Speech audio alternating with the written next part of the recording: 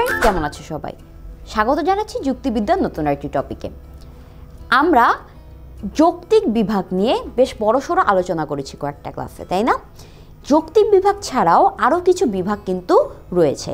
আজকে আমরা সেই বিভাগগুলো সম্পর্কে একটু একটু জানব। তাহলে চলো আমরা শুরু করি। যৌক্তিক বিভাগ ছাড়াও আমরা আরও কিছু বিভাগ দেখতে পাই। তার মধ্যে প্রথমটি হচ্ছে অঙ্গগত বিভাগ।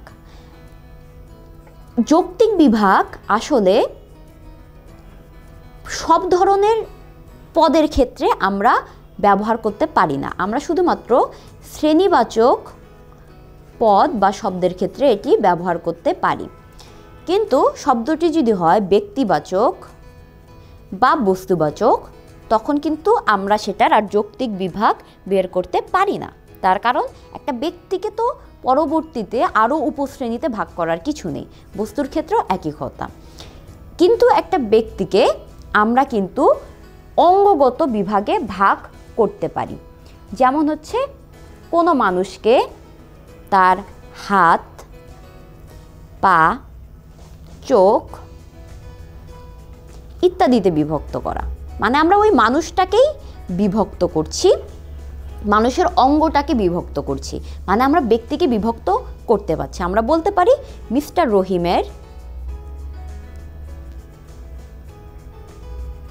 হাত, পা, চোখ ইত্যাদি রয়েছে। তার মানে আমরা মিস্টার রহিমকে অনেকটা তার, তাকে ভাগ করছি এবং হচ্ছে গিয়ে আমরা বলছি তার হাত রয়েছে, চোখ রয়েছে পা রয়েছে ইত্যাদি। কিন্তু এটা কিন্তু কোনোভাবেই যৌক্তিক বিভাগ নয়। আমি আবারও বলে রাখি, এটা যৌক্তিক বিভাগ নয়, এটাকে আমরা বলে রাখি অঙ্গগত বিভাগ।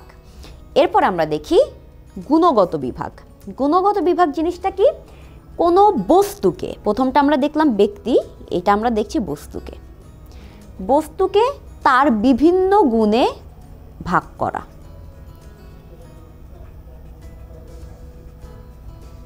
যেমন হতে পারে তার একটা কমলাকে তুমি তার স্বাদ, গন্ধ, রং ইত্যাদিতে ভাগ করতে পারো রাইট এই যে, এইভাবে আমরা দেখতে পাই যৌক্তিক বিভাগে কখনো এইভাবে কোনো বস্তু বা কোনো ব্যক্তিকে ভাগ করা যায় না।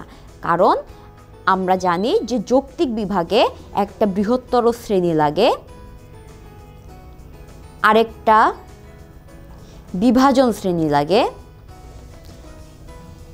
সেই বিভাজন শ্রেণি, একাধিক বিভাজন শ্রেণি লাগে, সেই বিভাজন শ্রেণি তৈরি হতে হয় একটা বিশেষ বৈশিষ্ট্যকে কেন্দ্র করে।